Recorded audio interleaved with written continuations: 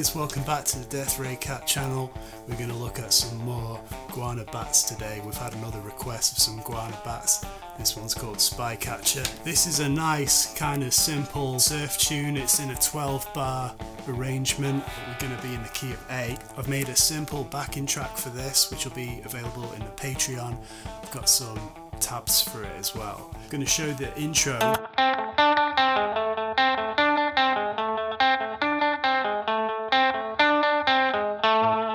It's all based around this little box over here. So third finger's going on the seventh fret on the D string. Two hits on there. Then we go to the fifth fret on the G string. Then back to the seventh fret on the D. Then we're going to go up to the seventh fret on the G string. Two hits there. One hit on the fifth fret on the G. Then we're going to go to this uh, sixth fret here on the D string then to the seventh, and then that cycle completes. So I'll play it slowly.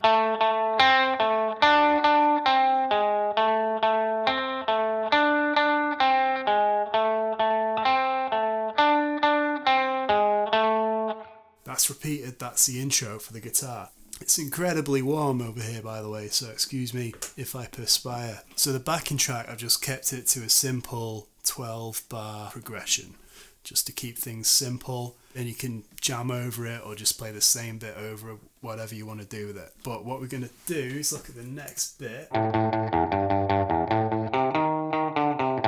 So we're still in A. We're going to be playing three hits on the fifth fret. Three hits. We're going to play an open E, then three hits on the third fret, and then another open E then back to two hits on the fifth fret there. This is all on the E string. Then we're going to go up to the A string and we're going to go to the third fret. Then we're going to go with your little finger up to the sixth fret. Two hits there, one longer than the other. Then we're going to go to the fifth fret with your third finger, then to the third fret.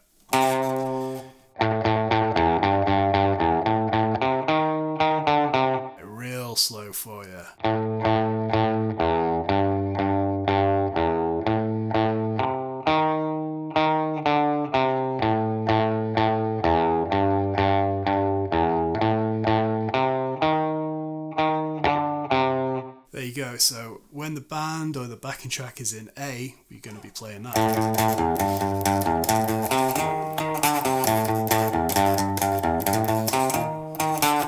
Next, the chords are going to change to a D. Now the cool thing about this is we can take that entire riff, move it one set of strings down to the ground or up in pitch.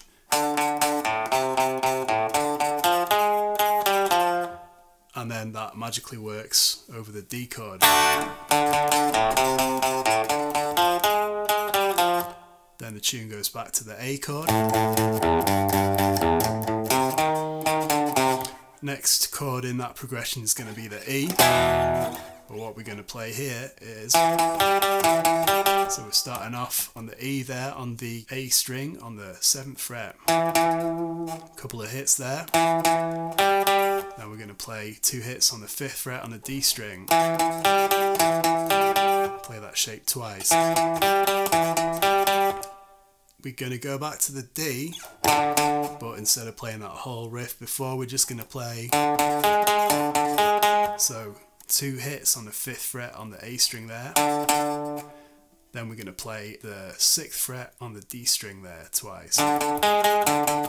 Two hits on each there. Then we're going to almost play the same as the first riff But we're going to land on the E for a little longer and play a full E minor chord.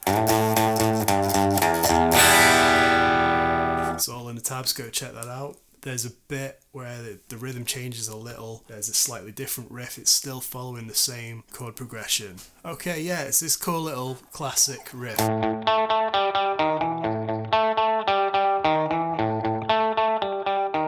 This is cool because once you've learnt that, we can apply it to anywhere.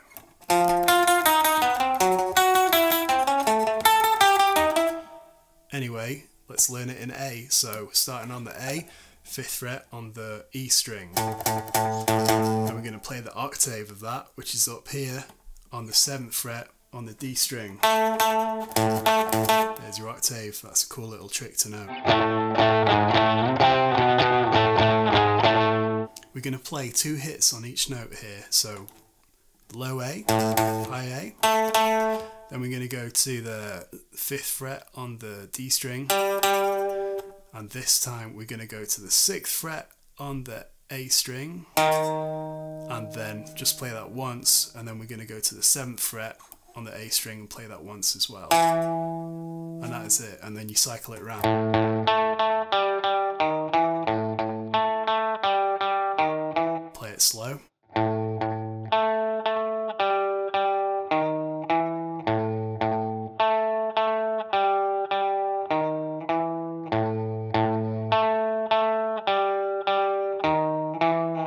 Once you got that, we can move it around to wherever those chords are changing. So there's the A.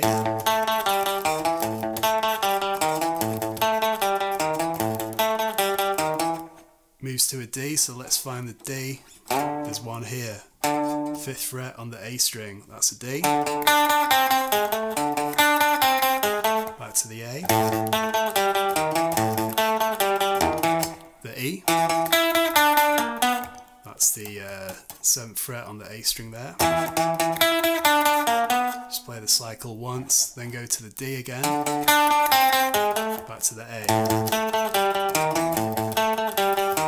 That's pretty much it, that's the tune, I've simplified it a bit.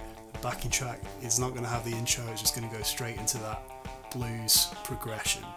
That's all in the Patreon. Thank you very much, see you later.